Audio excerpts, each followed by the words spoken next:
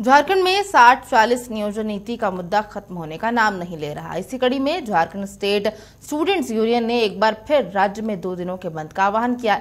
उस बंद का क्या कुछ असर हो रहा है? इस खास, इस पर देखते हैं खास रिपोर्ट। जेएसएसयू की ओर से बुलाए गए बंद का असर राज्य में मिला जुला देखने को मिला, जहाँ सुबह में कई जिलों से तस्वीरें सामने आई। जहाँ बंद समर्थक सड़कों पर उतरे दिखे।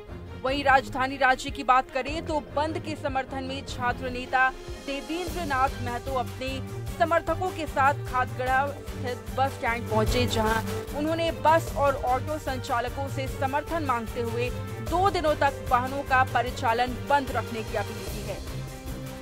झारखंड बंद है। जिसका घोषणा हम लोग लगातार एक महीना पहले से रोज रोज सूचना पहुँचा रहे हैं। लिखित रूप से हम लोग सारे बस स्टैंड हो, बस एसोसिएशन हो, ट्रक एसोसिएशन हो, ऑटो एसोसिएशन हो, बाज़ार समिति हो, दुकानदार संघ हो, सभी को लेटर भी दिया है और सभी से हाथ जोड़ के आज हम लोग निवेदन कर रहे हैं कि बस, ट्रक, ऑटो, दुकान, बाज़ार सब स्वेच्छा से बंद करके हमारा इस आंदोलन को सफल बनाने में सहयोग करेंगे।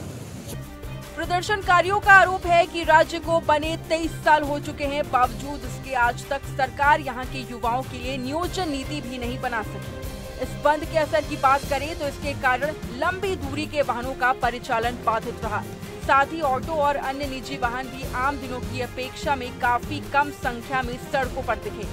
बता दें कि प्रस्तावित नियोजन नीति के विरोध और सरकारी नौकरियों में स्थानीय लोगों को शत प्रतिशत आरक्षण की मांग को लेकर ये बंद बुलाया गया है। हालाँकि प्रदर्शनकारियों के विरोध की आवाज़ अब भी सरकार तक पहुँच पाई है या नहीं, ये देखने वाली बात होगी। समाचार प्लस के लिए रांची से अंकुर सिन्हा की रिपोर्ट।